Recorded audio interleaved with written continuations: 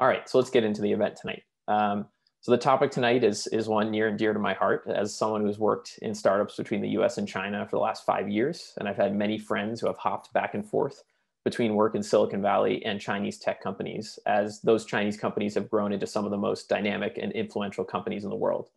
Uh, many like myself and a lot of members from YCW who invested time and effort um, studying Chinese and studying in China want to leverage that skill set that they built by getting a job related to China. Uh, the good news is there are some incredible career opportunities right now to be part of Chinese tech companies as they go through their international expansion. Um, so you may have seen this where we post the event and kind of the big headline is TikTok is going to hire you know, up to or maybe over 10,000 people just in the US as one sort of dramatic example. Um, people often wonder how someone based in the US can even begin approaching the job search into these kind of companies uh, from China um, you know, what kind of talent are they looking for and how should you find a company that's a good fit for you?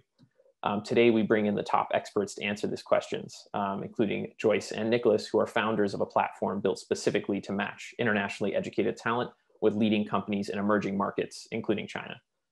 So without further ado, I would like to uh, introduce our two speakers. So first we have uh, Joyce Zhang Gray, she is the co-founder and CEO of Alariss. Uh, Joyce was previously the first employee and VP of sales for Human Interest, a fintech startup backed by Y Combinator and other top Silicon Valley VCs. In Asia, she worked for the president of Microsoft Asia Pacific, in Singapore, and as regional manager for Groupon China. And in Africa, she worked for the World Bank's International Finance Corporation in Nairobi, developing the East Africa community's common market protocols as well as for a behavioral economics firm doing work in public health in Zimbabwe. Uh, great to have you on, Joyce. And I'm just going to jump in. I'll finish the intro so we can get all the formalities out of the way. We have uh, Nicholas Manske. Uh, Nicholas was previously a diplomat for the US Department of State working in Asia, the Middle East, and Washington, D.C. As a diplomat, he was tasked with advancing US economic negotiations, foreign investments, and international entrepreneurship initiatives, including coordinating 500 million of financing for a Middle Eastern government in conjunction with JP Morgan, coordinating technical linkages between top US universities and emerging market universities, allocating US STEM scholarship for hundreds of emerging market students, organizing Global Entrepreneurship Summit, a preeminent annual gathering that convenes entrepreneurs, investors, and their supporters, and serving as US consul during the Arab Spring in the midst of terrorist attacks. He was also the founder of Verdict, a social polling and news aggregation website.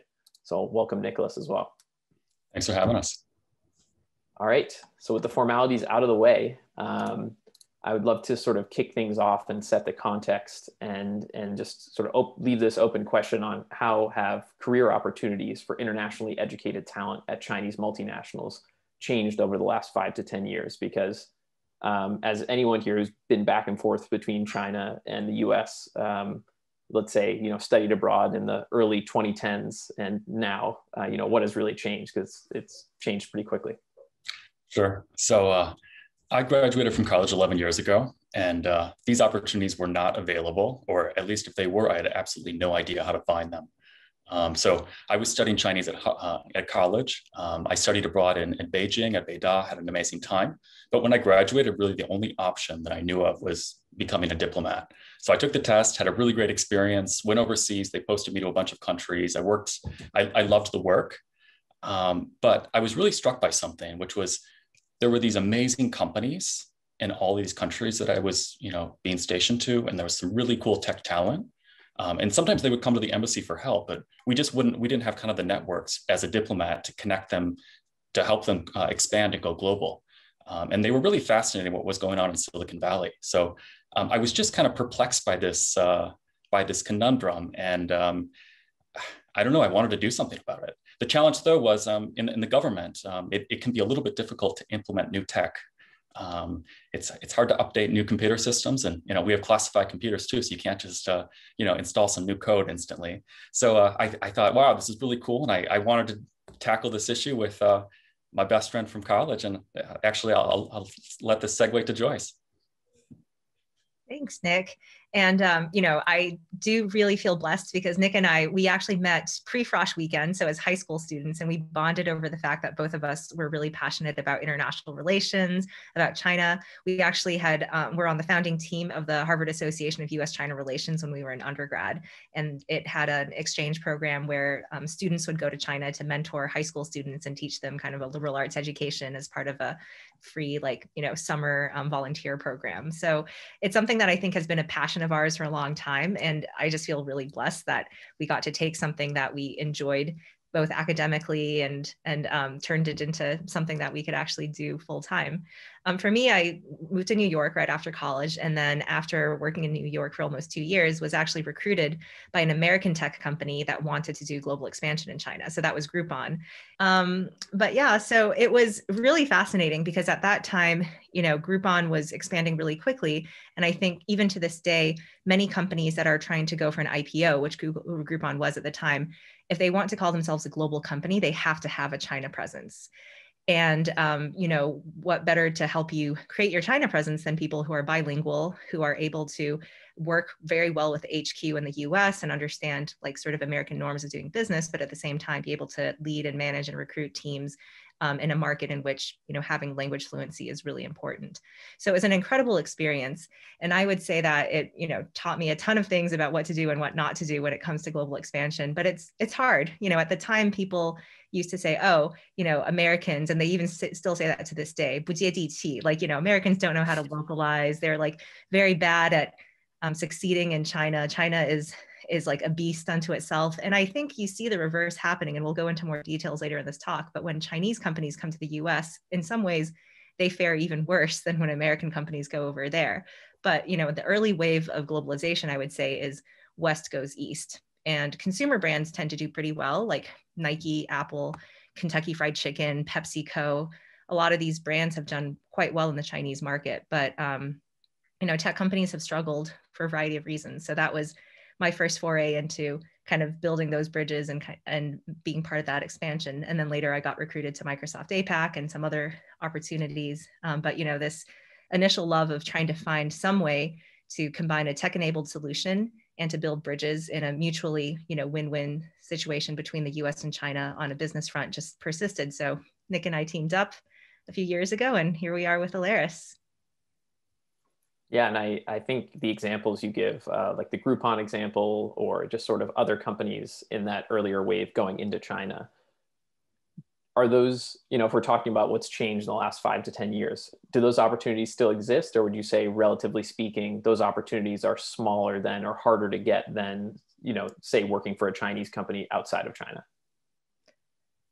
I'll take that. I think those opportunities exist, but the profile of people they're looking for has changed. So, mm-hmm. in the early days, when an American company went, so one of my mentors was the head of a large investment bank um, that opened up in China and, and was able to open up the China office for this large investment bank for the first time, you know, bulge bracket Wall Street firm.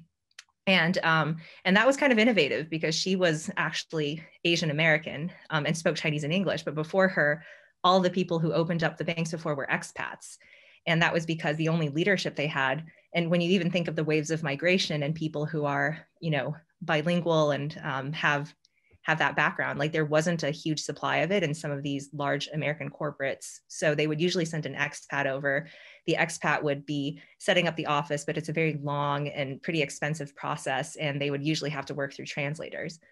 Um, I'd say the second wave of talent for this kind of expansion would be, you know, a lot of Chinese Americans or people who are, you know, fluent in Chinese and have studied it.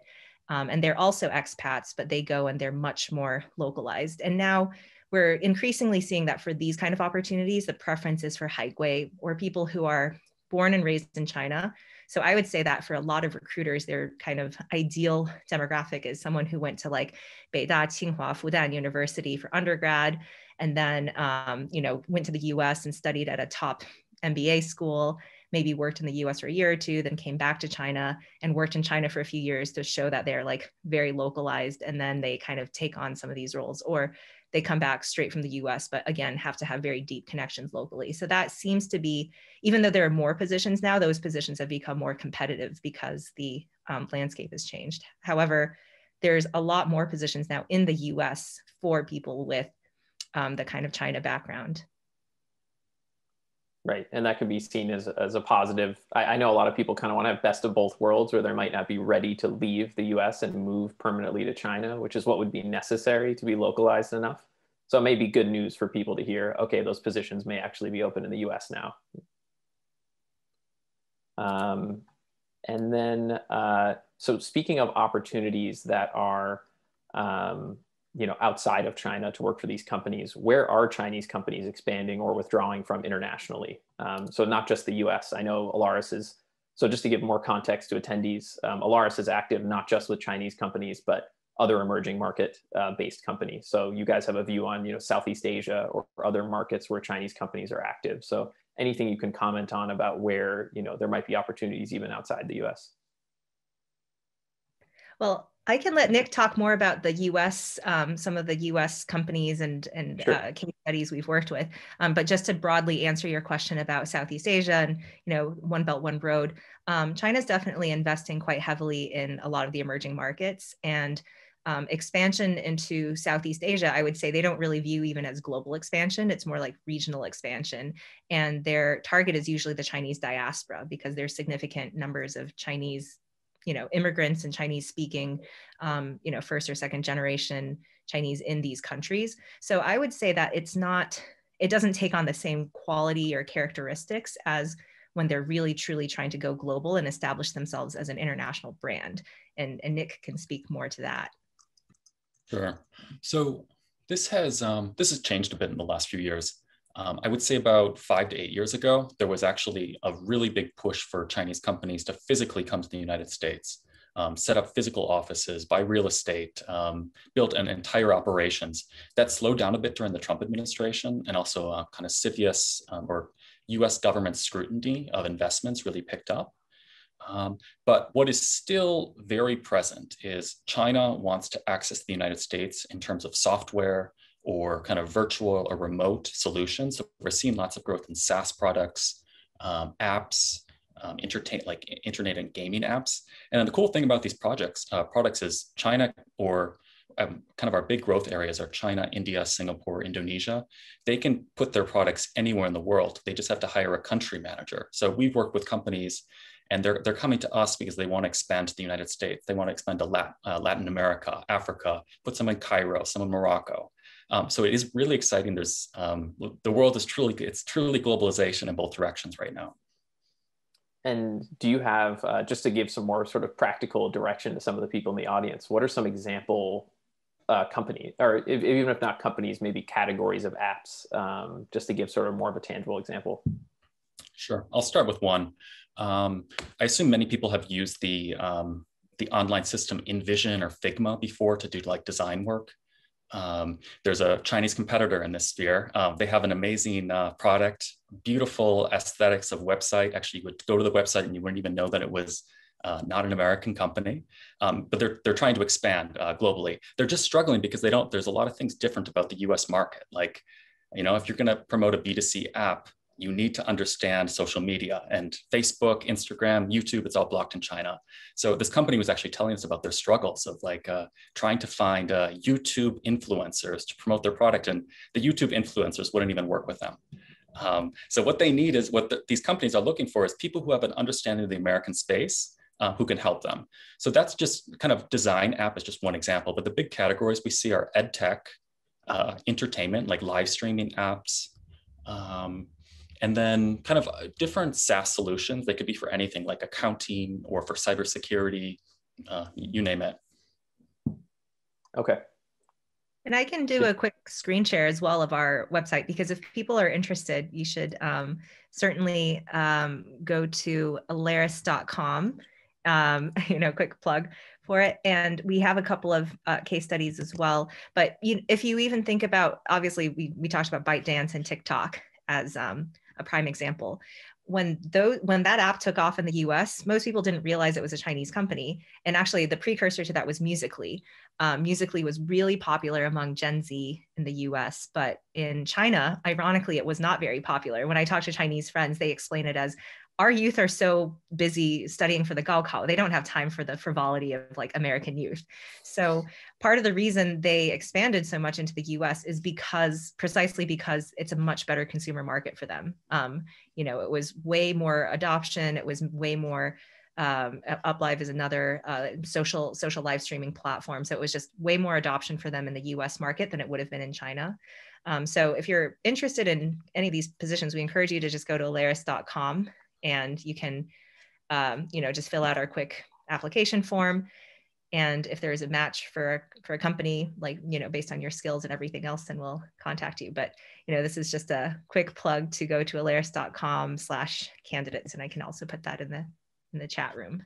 Yeah, but no, I think I think TikTok's a really good example. Uh, one because it's relevant because there actually are a lot of positions open, and people are now several years later very familiar with the brand and understand it has real traction in the U.S and is you know the ban has been reversed. I know there was kind of uh, everyone was holding their breath to see if they would continue to expand in the U.S. But I think um, it also is a good example of you know how much localization help they really need, right? So I know people from Facebook Trust and Safety that have gone over, right? So there's all the legislative and policy side of localization they need help with. Um, then obviously there's the marketing. They ran huge campaigns on YouTube and other social platforms to drive traffic there. Um, so I think if people are sort of trying to slot themselves into an opportunity with one of those companies, you can think of them as kind of a, an example that's made it to large scale, but they'll need help across the functions. So if you have that bicultural, bilingual skill set plus some function, uh, you know, some subject matter expertise, you can be really helpful. Um, and I'm gonna I'm gonna jump one question here just to segue into that one because uh, I think it's a relevant one, which is um, and maybe this Nick, you can kick this one off. Um, how should people make themselves marketable and differentiated to these companies, right? So if you want to get, you know, this top, uh, maybe not, you're not going to get the country manager position for TikTok. That might be already taken. But if you wanted to be sort of a leadership position in one of these leading Chinese companies uh, expanding in the U.S., how do they differentiate themselves? Sure.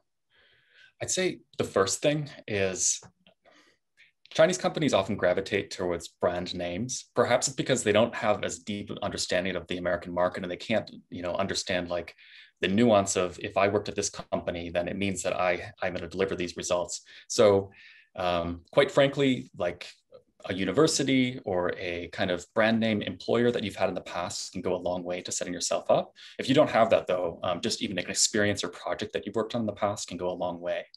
Uh, the second thing that I would say is kind of language abilities. Um, just to give you an example with another client, um, their international, actually their head of um, BD uh, was the only person on the team who spoke English. So every, every other person only spoke Chinese. So if they're going to hire someone in the United States and that this person is going to be able to collaborate with the entire team, there needs to be at least some level of Mandarin to keep, uh, to keep the exchange going. So I would say work on your language abilities. Uh, Joyce probably has a few other ones to, to add. Yeah. Well, um, you know, as Nick was saying, language abilities are really important, but it's also about cultural competency and cultural fluency. Because I think one of the things that they find is, and, and language is often a heuristic for that. Like if you went through the trouble of, you know, studying at Beida when you were in undergrad or getting a degree in China, which, um, you know, if there are any, if there are people who are interested in pursuing um, a degree, we actually, one of our partners is Hong Kong Baptist University, and they're offering a full, um, all, they're, they're offering a uh, scholarship for a one-year business international business masters. Um, so you know we can also send this link over here. Um, th- this all like part of the reason these are really important, like you know, top business school, global community, international exposure, et cetera, is because um, it actually there's there's just some sort of I suppose je ne sais quoi when it comes to being able to traverse the line because um, there's just a lot of cultural differences. I know it sounds cliche, and many of you have probably heard that term about like culture shock and why is it that it's so hard, and things that for many of you, because you have lived in a uh, you know very diverse environment, you don't know all the things that other people struggle with. But many Chinese companies, I think, make the mistake of coming to the US, just as a lot of Americans did. The same mistakes apply in both directions. They just bring their expats over. The expats like stay in a hotel or Airbnb in the US. They only speak Chinese to each other in the team. They only interact with the local Chinese community. They are very uncomfortable speaking English and they try to do sales and recruiting and set up operations. But usually it doesn't go well. Like we've talked to certain companies that are clients of ours who've had a presence, so to speak, in the US for over three years and spent a lot of money on it. and didn't get a single client because they sent their own expats over who had just no local connections and local know-how. And um, that's why it's incredibly important for them to have people like all of you serve as bridges and be able to feel comfortable you know going out into the market or going out and doing bd but at the same time communicating with the team. Um, and so I think that cultural competence and empathy is also important because many Chinese companies also find it then so the first stage was okay we're just going to send our own expat then they realize this doesn't work then they just try to find some random American that they find on LinkedIn and they just like message a random tons of random people. They're not again, they don't know how to do recruiting in the US. So the vast majority of good candidates will probably reject or decline or just not even respond to their messages. So there's a little bit bit of an adverse selection bias of the ones who actually do respond. And the ones who do respond, the Chinese companies aren't screening initially for like do they seem like they understand China? They're just literally finding anyone who they think looks and seems like a prototypical American. And so the person might eventually end up agreeing to a job, but then there's a lot of friction and they end up churning after, you know, a couple of months. And the friction, we can go into that later, but, you know, as you can imagine, there's just a culture clash. There's a lot of um, inexperience from the people that they just randomly find who don't know how to, you know, who don't know how to be that bridge or who don't know how to cooperate well with the home office and who also feel frustrated because you do have to be a little bit entrepreneurial. If you're the country manager for a company that's based overseas and you're the first person who's really taking their product to market, it's not just there's an easy playbook, there's a team to support you. It, it does take a lot of self motivation and um, it's not, you know, a task for everyone. And I want to dig into something here just to give like a, a concrete example that we've chatted about before in terms of the culture difference, which you know one might be in say uh, hr policy or like feelings around let's say taking time off of work right? I just want to pick one example to give people sort of a, a, a real um, a real example. So um, i know something we chatted about before is you know in the interview process in the us asking about what the culture is around taking time off or what the pto policy is is pretty normal um, and you'd want to ask that to know and see how you fit into that but we've talked about before you know how you broach that topic with China headquarters could be different, right? And what they want to know from you before you ask that question. I thought that was a really great example. I'd love if you could kind of uh, explain that one, Joyce. Sure.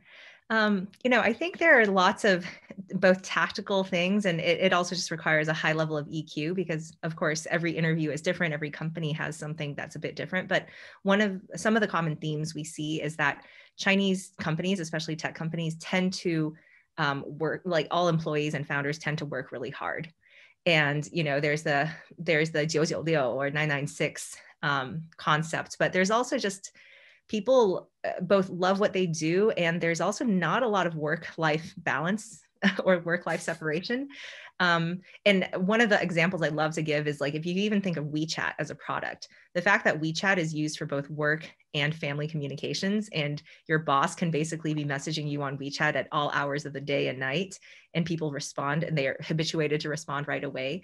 I think that's a level um, of intensity that is sometimes a little off putting for people who've never worked in a China context before and that they find difficult to navigate. But then the Chinese companies on the flip side will feel a little frustrated because again they're used to employees being really responsive and if the american employees don't respond to them quickly or tell them you know sorry i'm not working outside of 9 to 5 p- a.m to p.m eastern standard time um, which corresponds to 9 p.m to 5 a.m china time then you know that's also going to be something that's a little frustrating so even very small things like navigating boundaries and time zone um, and kind of work commitments can be something that just takes um, takes communication, but it's also not something that most Chinese companies necessarily respond really well to if the interviewee, before they even have an offer, just state that up front. And I think a lot of um, Americans tend to do that because, again, they want to make sure to set boundaries.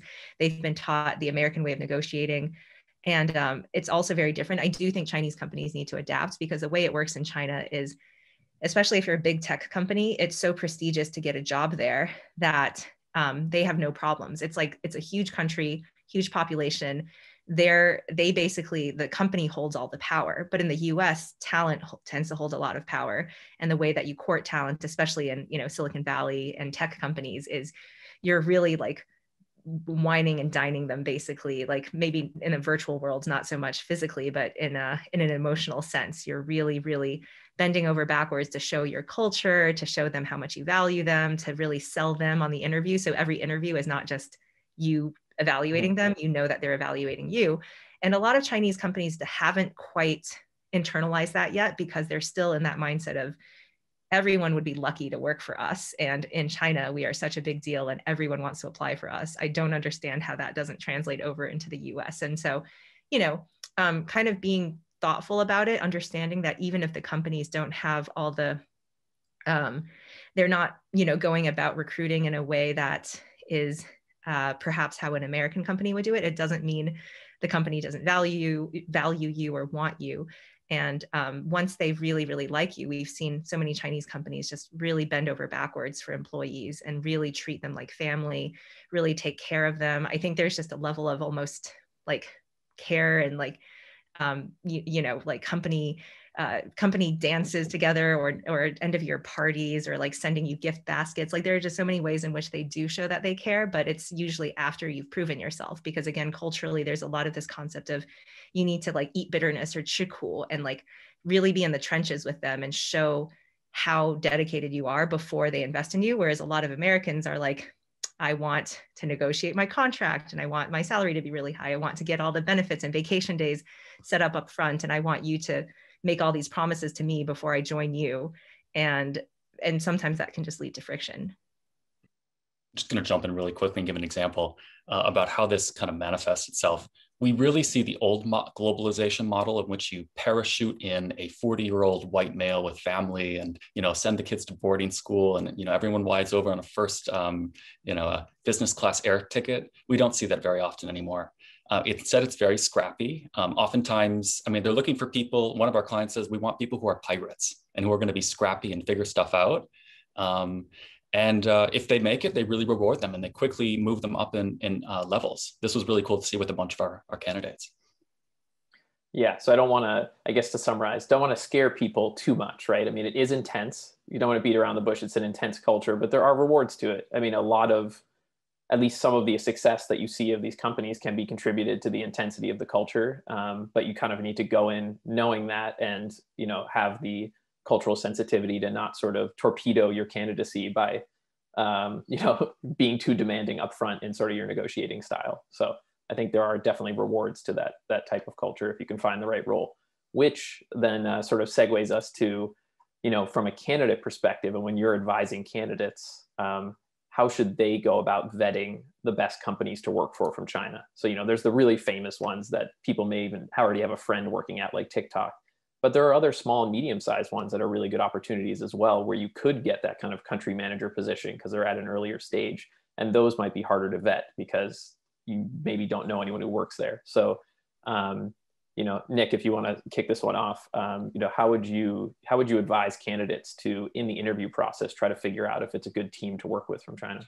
Yeah, it really is a challenge, and actually, this is the pain point that we saw uh, when we first started. We uh, we had this. Uh, uh, there, there's this client. It's an ed tech company. It's actually the biggest ed tech company in the world, valued at 15 billion dollars, based in Beijing. They were trying to recruit Americans. Um, they would message them on LinkedIn, but it would look like a scam because it was written very poorly the information on the website wasn't very good. Um, so you just had no way to vet them. And also you didn't know people who had worked for them. That's why we really, that's kind of how we got the idea for Alariss. We serve as the platform to connect both sides um, and vet both sides. So we only make sure to work with quality employers.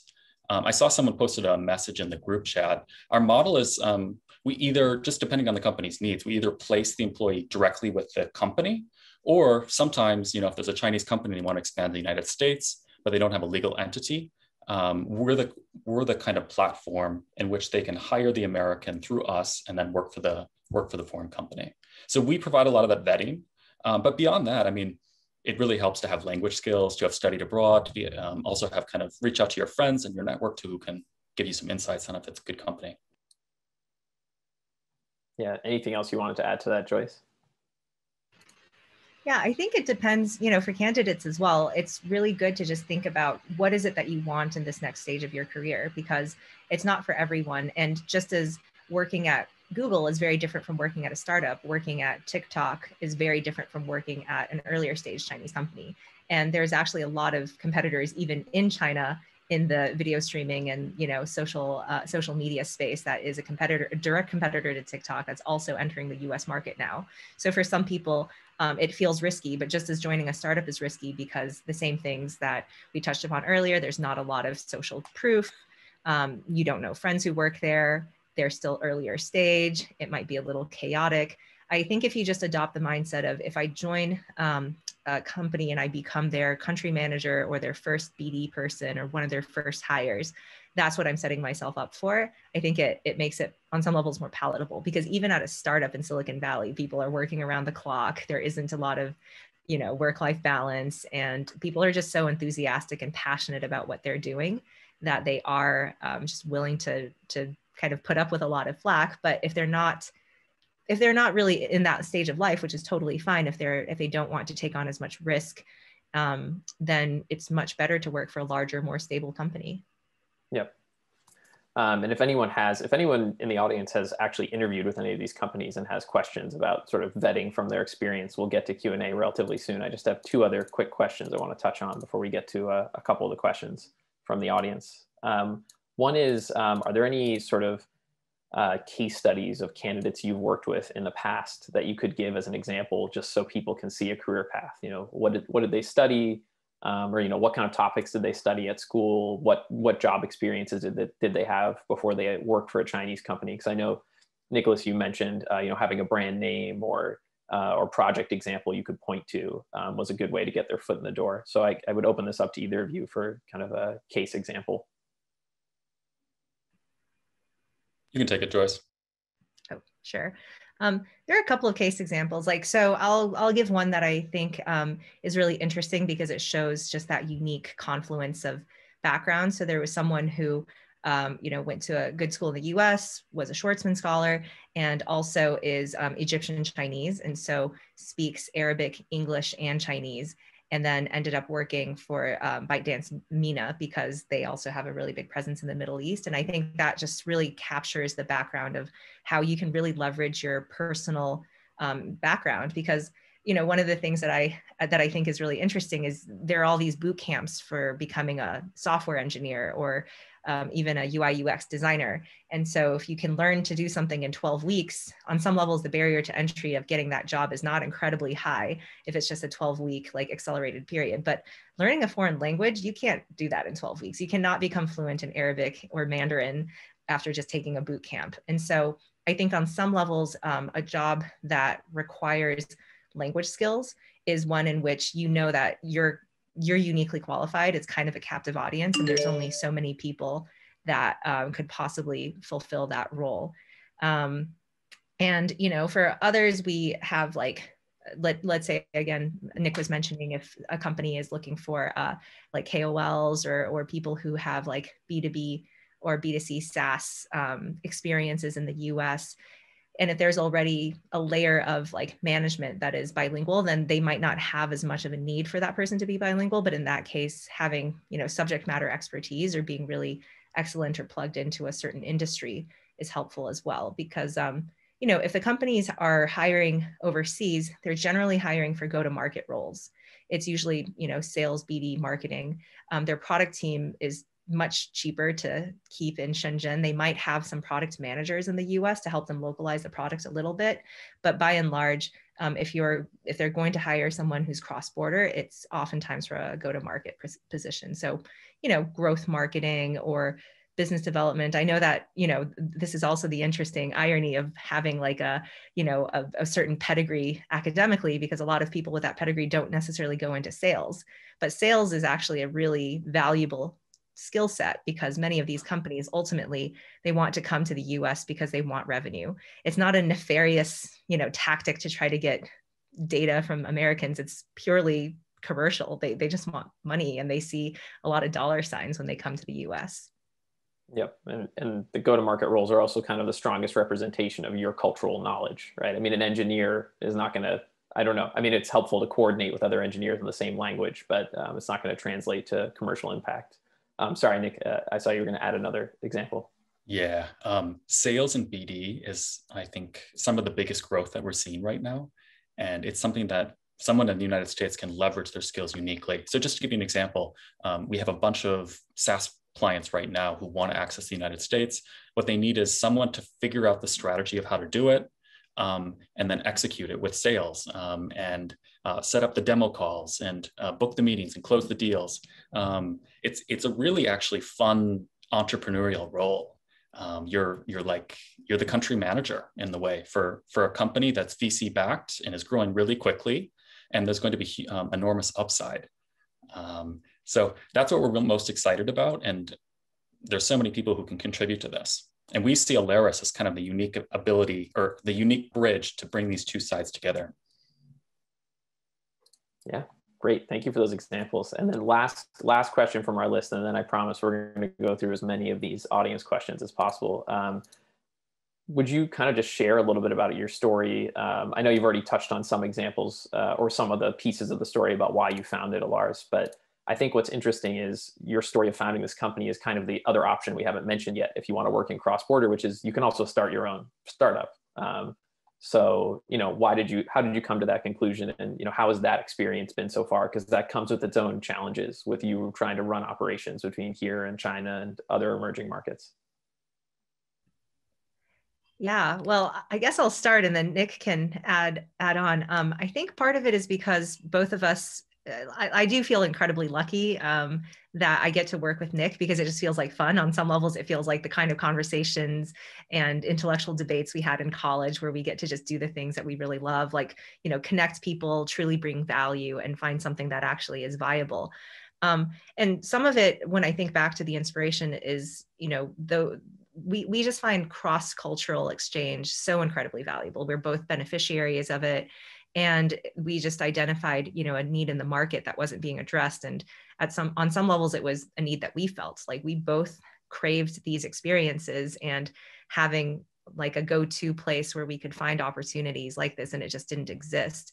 And then um, you know I, I do think though that we're on some levels glossing over all the pain and sort of like trial and error that we had to go through over the years to get to the point where we found sort of a repeatable process or or a, a stage that it um, that really worked out. But you know, entrepreneurship, I think, is something that you really have to be committed to doing it for. They they usually say the rule of thumb is you have to be committed to doing this for at least ten years minimum, and it's very all consuming. And so it's something that you really need to love. And luckily, I think we both really love it, but it's not necessarily an easy journey. Yeah, um, it, it, it, just helps that this is really our passion. Um, it's a problem that we saw in our own previous careers. Um, we love working together. We trust each other. There's you know there's high moments, there's low moments. It helps to be with someone that you're uh, that you're having fun with and trust the entire time. Um, and yeah, I uh, yeah, it, it it doesn't feel like a job to me. I I love it. Yeah, so definitely um, from my own experience trying to start a company between the U.S. and China, they're they're glossing over a lot. Um, but no, I mean, if you're really passionate about it, I do think it's an option. Um, and I think this we've chatted about before as we were preparing for this. Just like say learning another language is a barrier to entry in the talent market. If you set up cross-border operations, you know, if you're able to create a recruiting platform between these two countries, it's a huge pain, but it's a barrier to entry. It's hard to do that. It's hard to have relationships with employers in China and candidates in the US. So for people considering the entrepreneurship route, it, it is challenging doing it cross border, but I think it also has its own sort of long term benefits. Um, and I know people in the audience are also passionate about this space, could motivate them to, to do something like that.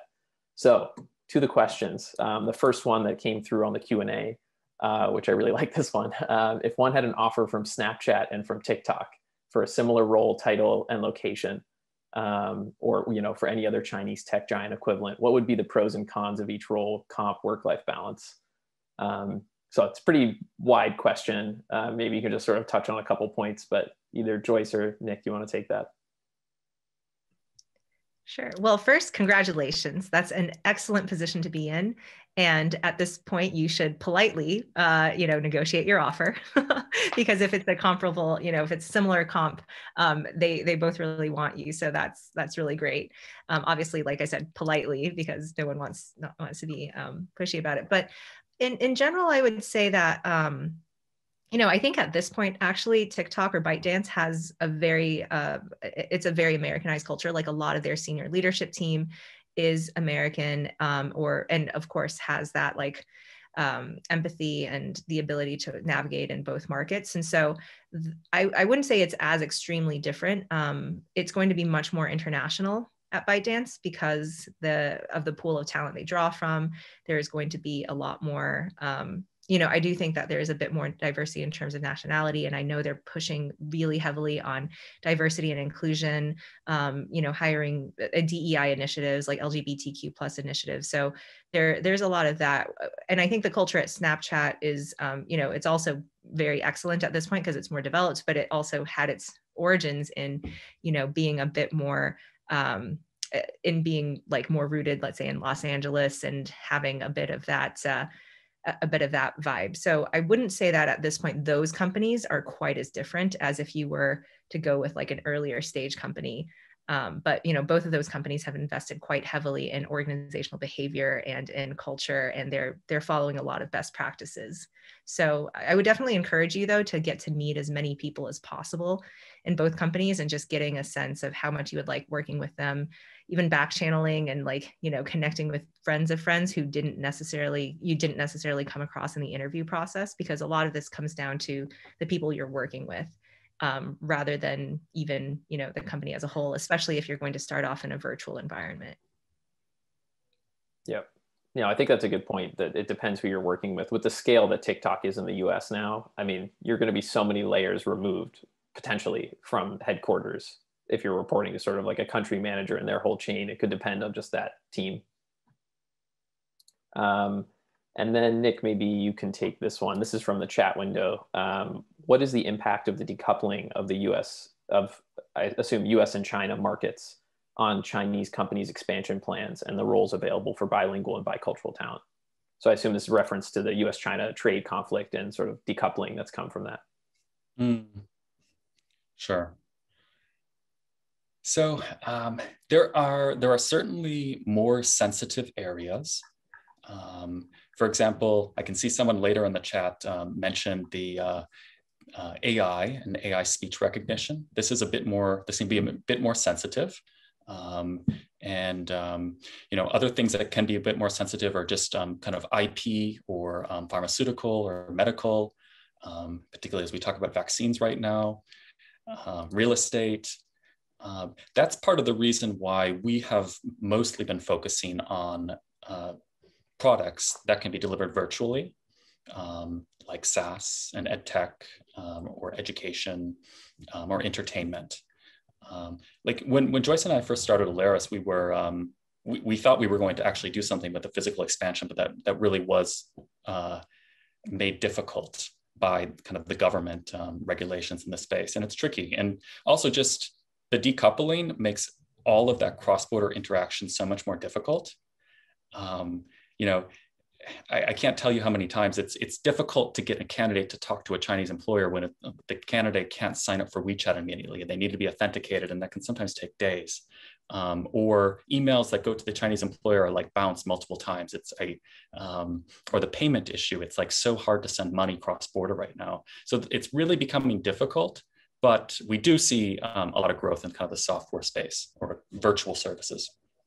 Right. And uh, if anyone is curious, the last YCW session we did was with the US China Business Council, specifically on industries that are likely to be decoupled or not decoupled, right? So, you know, strategic deep AI or semiconductors or, you know, uh, 5G infrastructure. I mean, there's some that are very obviously not going to have opportunities anytime soon, but a lot of the sort of consumer apps and other industries that Joyce and Nick have already touched on are probably not going to be affected um, by the decoupling. Um, so this is an interesting one, and I'm, I'm not sure if, uh, if either of you kind of have a view on this, but pr probably do. Um, uh, question about workers' rights. My understanding is that legal protections for workers in China, such as discrimination based on race, sexual orientation, gender, age, um, or harassment have significant limitations. Given that these issues have come up extensively in big Western tech companies, do you have any comments or observation on how Chinese companies are approaching the issue? And maybe can comment on you know how they would approach it with a US entity, because that's probably more relevant for the audience. Um, similar to my comments earlier about companies like ByteDance, they're definitely very proactive about it, and you know, even their um, even their their like all of their DEI initiatives, I think, are actually quite ahead of the curve, even um, by standards, by American standards. I think part of it is because many Chinese companies realize, especially ByteDance, since it was in the news so much, they realize that they're under increased scrutiny, and so they almost have to go above and beyond on that level. Um, but you know, I think for smaller companies, they still don't necessarily understand because, as many of you probably know, when you spent time in China, this concept of uh, racial diversity, at the very least, is quite foreign to them because there isn't really racial diversity in China. It's an ethnically pretty homogenous country, and so um, you know, workers' rights do exist. If anything, I actually think China is stronger on worker in certain workers' rights because of socialist, you know, roots than certain American companies. Um, but at the same time, like our conception of diversity, equity, and inclusion, and also our concept of, um, you know, what kind of team you want to build to make it diverse is not the same. So I think part of the role that we help them as well is kind of in that intermediation and helping them localize because that is essentially part of what they need to eventually do and why it's really important for them to have people again like all of you who understand their perspective and are not trying to castigate them and tell them oh you're being discriminatory because they're not trying to discriminate against people not actively at least it's just there there it's a blind spot for them. So i do think this is something that will continue to improve and i'm actually very hopeful um, because it's something that like you know they're learning as they grow and expand and in some ways they're learning much faster than the um, western companies had when they were going into china for the first time. And you know um, and and some of the uh, some of the sometimes like you know dis- disregard or, or sort of unawareness of certain labor practices and labor laws locally yeah, and it's also just something that we as Alariss, the platform, coach them on. Um, in China, it's actually quite standard to put your birth date on your CV. Um, that is completely un, you know, unpatable and illegal in the United States to request that information. So we just we make sure as Alariss, as the platform, that um, our clients are following the relevant labor, labor laws. Yep. Yeah, and I think, uh, and i am going to segue over to a couple questions about the mechanics of how your platform works because I think this is really relevant. But you know, that is, I think, a big piece of it. And I know you're saying, oh, it took a long time to sort of search around and find a repeatable process. But, but before then, it was, I'm assume, very manual figuring out how to bridge all these issues, right? So you, you know, have seen all these issues of, cultural and legal type uh, problems. So someone said, and maybe this is kind of just a good open question for how it works. What happens once you submit a resume to Alariss? So Nick, maybe as the platform person, you can walk us through the process. Sure. So uh, the resume submitted, um, we of course have software to parse it um, and tag it relevantly. Um, those skills go into our database. Um, we, we set up a uh, kind of 15 minute interview for most candidates um, in which we just kind of talk about what their career goals are and get a better, better scope on what their background is. Um, and then typically within a week, we're able to match them to some opportunities. We can't promise this for everybody, but there is there is really a lot of need right now. And actually we have kind of a, uh, a sur surplus of clients right now who are looking for roles. So as soon as we match, the next steps are is we introduce the opportunity to the candidate over email, and then we bring both sides together for a Zoom meeting um, in which they can kind of get to know each other a little bit better. Um, and then it really it just depends on the the role. Um, like if um, if it's a bigger company and they already have a legal entity, um, that you know that person is going to be hired directly by the company. Um, if it is a company that's expanding in the United States, they don't have the legal entity yet. Um, oftentimes, you know, they'll, they'll test you out for a trial project, like do some market research of like a go-to-market plan. They'll pay you for this, and then when when they're certain of how it's going to work, then they start the BD and strategy uh, uh, strategy. Yeah. Um, okay. Anything else you want to add on sort of the process piece, Joyce, or uh, what what candidates can expect? I think that's pretty straightforward, though, in terms of you know you submit, you get some tags based on skill set, and then you facilitate the initial sort of handshake between the candidate and the and the company. Yeah, we we do find that you know it's oftentimes actually very helpful to have um, an intermediary or someone who can um, just kind of set expectations and convey things to each side. And for many Chinese companies too, they feel more comfortable with that. They don't like direct confrontation, and some things are not confrontational, but other things, even um, you know, figuring out the comp or or like the scope of things, it, it can to them sometimes feel awkward because they also don't have benchmarks for it. So there's there there's a lot that um, having you know sort of an objective uh, facilitator does help smooth the path. And you know they they're the nice thing as well is there used to be this perception that oh Chinese companies can't pay. That's really changed. They can definitely pay for top talent, but it's just a matter of whether or not they think that talent is valuable and worth the expense because they're also very i would say value conscious if they think it's valuable they will definitely you know throw a lot of resources at it but until they feel assurances or comfortable that that's the case um, they're going to be a little bit more um, you know they're going to be a little more conservative in their decisions yep. um, another question on on the Alariss uh, platform um, so as for a two-part question from claudia as for recruitment does Alariss focus exclusively on the us or also look at other regions like europe and then part two, have you found Chinese tech companies who actually prefer not to have a China watcher or China speak Chinese speaker in their global team so as to appear more international? Um, I'm thinking of big tech Chinese companies who today face PR government challenges. Yeah, well, I kind of addressed the second question a little bit earlier on when I mentioned that um, the first iteration for some Chinese companies to come was like purely expats from China, and they were definitely not localized enough in the US. And then they tended to swing to the other side of the extreme, which is someone who um, seemed all American and had no ties to China. And then that oftentimes did not work out because there was just a lot of friction.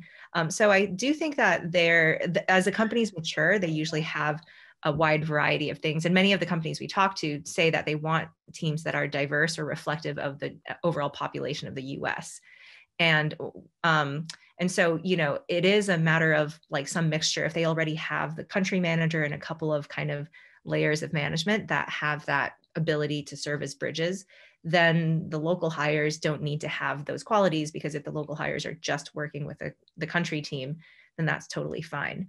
Um, so, you know, again, bigger companies have that, but it just really depends on the stage of the company and their needs. And then, as far as the question about Europe, um, we have helped some companies that we're doing expansion into Europe, but our main focus is on um, US based or US educated talent because it's just such a huge market and the United States has so much great talent. So that's that's our core focus.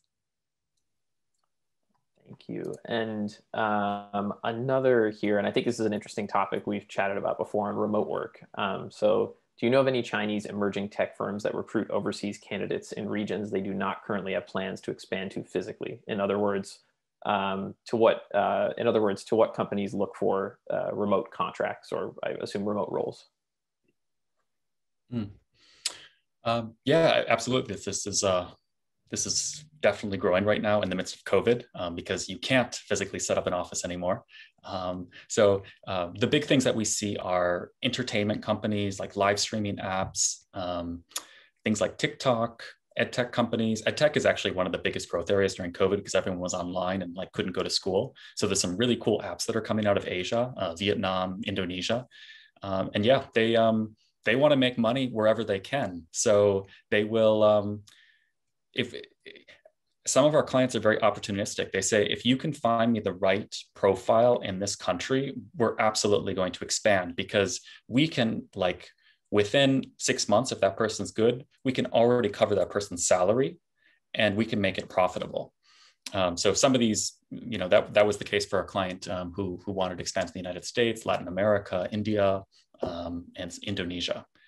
So it's very opportunistic. If you can kind of present yourself well, you know, we can match you quite quickly. Great. So, so there are opportunities for remote, um, either to be kind of uh, there ahead for when they expand, before, like you know, six months in advance of them expanding. But what about? I mean, are there any? I, I assume the audience member is also interested. Are there any sort of skills that they would be willing to hire remote, even if they didn't have plans to expand there remotely, uh, expand there in the future? So, you know, say, are you kind of like a subject matter expert that they would hire remotely? Oh, yes. Um, so that's a good point when you bring up subject matter experts. So um, some of the Chinese companies we've worked with, although I, I, think that they tend to want professors and people who uh, we've definitely had a lot of Chinese companies ask us for Nobel laureates who would be able to be uh, remote consultants and they're able they're willing to pay so you know um, that that is again cost is not a barrier for some of these companies and so they I, and i think again it comes from this place of like deep desire to learn. They recognize that there's a lot of knowledge and and again nobel laureates i think it's just partially it's branding to say oh we have an advisor we have a speaker who who is a deep subject matter expert in this and partially partially it's because they are very humble and they acknowledge like you know many american companies have done this before many american experts have done this before and we haven't um, even when it comes to organizational behavior, we've had some companies say they want business school professors to come teach them about how to create a better work culture. I think that shows an incredible capacity to learn and grow and a growth mindset. Um, so yeah, they they might get some of these like very um, preeminent experts and professors it, without necessarily wanting to go into that market, but they want that person to you know teach them how to do things the right way. Right. Um, and I don't want to go too far over the hour, so I just want to leave a couple minutes if there was anything else that um, either of you wanted to close out on in terms of you know how to connect with you and how to connect with Alariss. Yeah, I think um, we showed everyone the website. Feel free to add us on LinkedIn. I think that's probably um, an easy easy one. You can just find us by our names. I'll just type in my URL here because, uh, and then Nick's I'll type in as well linkedin.com slash um yeah and please feel don't hesitate to reach out if you have any questions we'd love to hear from all of you and especially if you're interested in any of the roles potentially or in studying abroad in hong kong on a fully funded scholarship please don't hesitate to apply on our site for any of these things Great. Well, yeah, thank you both, uh, Joyce and Nick, for joining us today. I think uh, this was really helpful for the YCW members and um, like they said, they're they're happy to keep in touch. So if you guys have follow up questions, I know we couldn't get to all the Q and A. Uh, feel free to follow up with them or, or go to their website. Um, thank you everyone for attending. Uh, really appreciate it, and hope to see you at future events. Thanks, Mike. Thanks, Wilson. Thanks, Mike and Wilson. All right. Take care, everyone. W. Bye.